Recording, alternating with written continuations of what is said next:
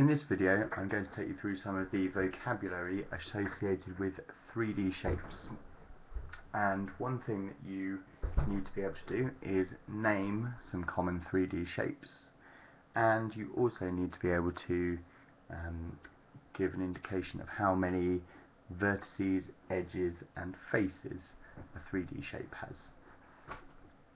So here are some common 3D shapes. A cube um, is a bit like a, a dice shape. Um, all the sides are the same length, every face is the same size, um, and it is a sort of box shape. So let's have a look at how you work out the number of edges, faces, and vertices.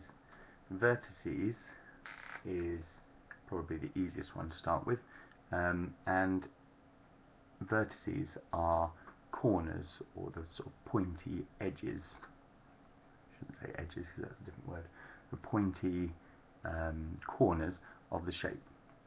So what I'm going to do is just use a pen just to put a dot on each of the corners. And then I'm going to count the number of dots I've drawn. 1, 2, 3, 4, 5, 6, 7, 8.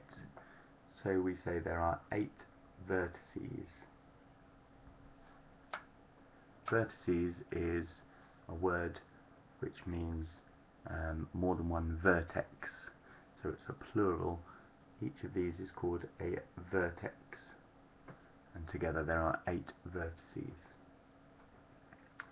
Next up, let's have a look at how many edges there are. The edges are the, the lines which join the vertices. So you can see there, I've just drawn four. I will draw another four lines here. So that's eight. And then there are four more which go across like that.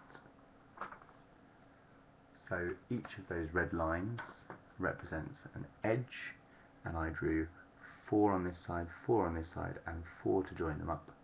So that is 12 edges.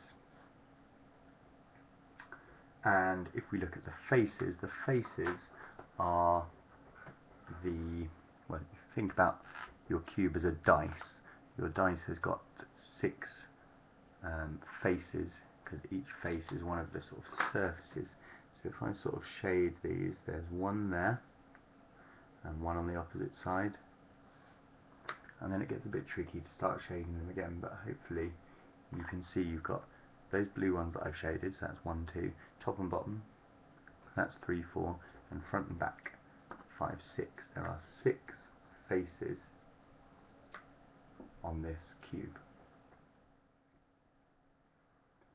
The next one is a cuboid, um, and a cuboid is different from a cube, so a cube has all sides, I should say edges, all edges are the same size, all the faces are exactly the same, they're all squares. On a cuboid, you've got different size faces, so the front face here might be different size to the top, might be different size to the side there. Let's go through and see how many vertices it's got. It's just like the cube. It's got eight vertices.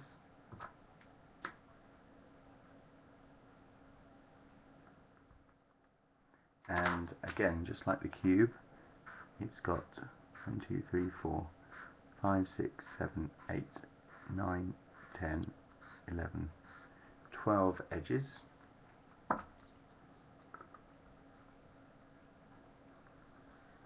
And again just like the cube it's got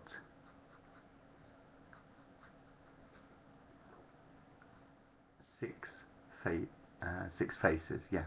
The sides like that, um, and then if I do the top perhaps in dots, and the bottom in dots, okay, so that's one, two, three, four, and then the front and the back, which I'll put little sort of crosses on, I think, I can't really show that very well.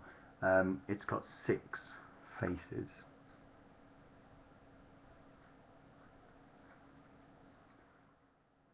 The next one you need to know is a triangular prism and a triangular prism is a shape which has got a triangle um, as its sort of ends.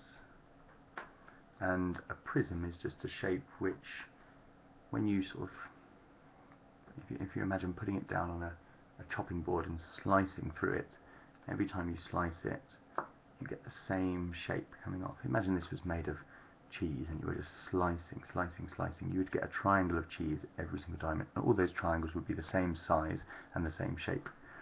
So it's a prism. And with this triangular prism we can apply our method to find the number of vertices. Just put a dot on each corner. There are six of them. Six vertices.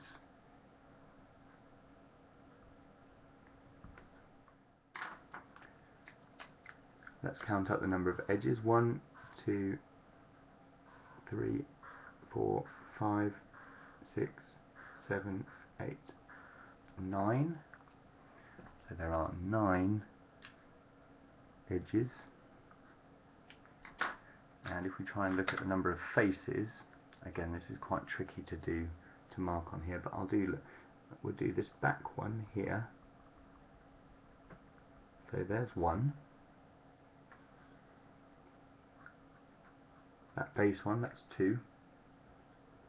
You've got the triangle at the front and the back, so that's three, four, and then you've got this sloping one coming down here, so that is five faces.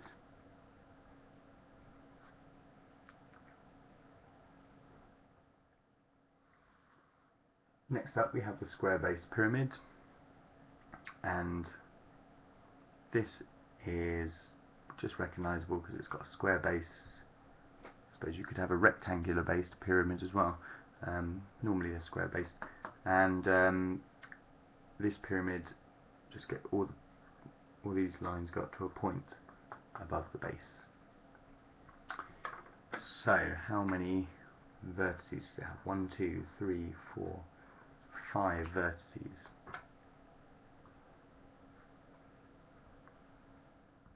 how many edges? One, two, three, four, five, six, seven, eight edges. And the number of faces, well you've got the base here, and then you've got four triangles going up to this point here, so the front, the back, the left and the right. So that's a base and four triangles, that's five faces.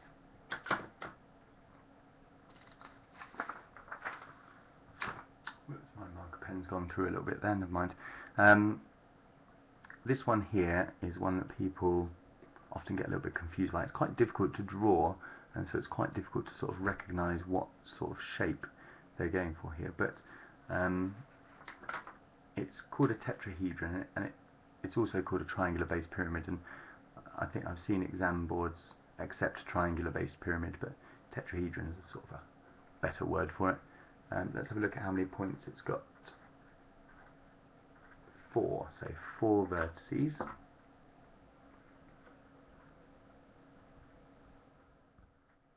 The number of edges is one, two, three, four, five, six,